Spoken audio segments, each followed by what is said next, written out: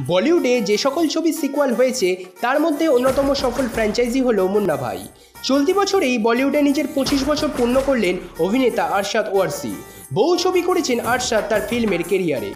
অভিনেতা আরশাদ ওয়ারসি জীবনে যে চরিত্র তাকে পরিচয় পেতে সাহায্য করেছিল, সেটি হলো মুন্নাবাই ছবিতে সার্কিটের চরিত্র। রাজকুমার হিরানি পরিচালিত মুন্নাবাই সিরিজের দুটি ছবি করেছিলেন, দুটোই হয়েছিল সুপারহিট। প্রথমটি ছিল মুন্নাভাই এমবিবিএস এবং দ্বিতীয়টি ছিল লাগে রাহো মুন্না ভাই কমেডি মোড়কে তৈরি হলেও গভীর সামাজিক বার্তা ছিল দুটি ছবিতেই। স্বাভাবিকভাবেই দর্শকদের এবার প্রত্যাশা, কবে আসবে মুন্নাভাই পার্ট থ্রি এবার সেই প্রসঙ্গেই মুখ খুললেন অভিনেতা আরশাদ ওয়ারসি।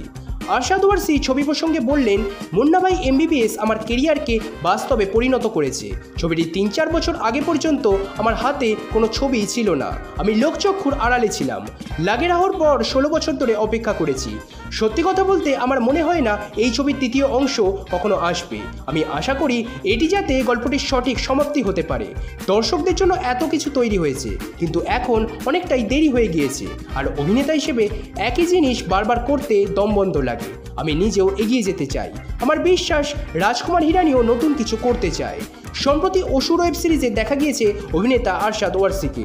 দু হাজার তিনে মুন্নাভাই এমবিবিএস এর পর দু হাজার ছয়ে মুক্তি পেয়েছিল লাগে রাহ মুন্নাভাই। তারপর দীর্ঘ সময় পেরিয়ে গেলেও মুন্নাভাই তিন নিয়ে কোনো উচ্চবাচ্য শোনা যায়নি। এবার আরশাদের কথাও সেই ইঙ্গিত।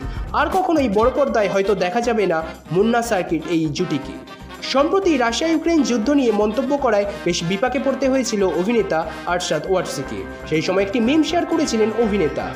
আরশাদ তার গোলমাল ছবি থেকে একটি মিম শেয়ার করেছিলেন নিজের টুইটার অ্যাকাউন্টে। ওই মিমে তিনি অজয় দেবগান শর্মান যোশী এবং রিমি সেনকে নিজের সঙ্গে জুড়ে দিয়ে একটি ভিডিও পোস্ট করেছিলেন। এখানেই শেষ নয়। তিনি নিজেদেরকে আমেরিকা, রাশিয়া ইউক্রেন এবং ইউক্রেনের বিদ্রোহ নিয়ন্ত্রিত এলাকা হিসেবে ট্যাগ করেছিলেন।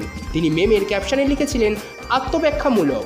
গোলমাল তার সময় থেকে অনেক এগিয়ে ছিল তার এই মিমটি অসংবেদনশীল বলেই সেই সময় মনে করেছিলেন নেটিজেনরা। ব্যুরো রিপোর্ট সবাক বাংলা।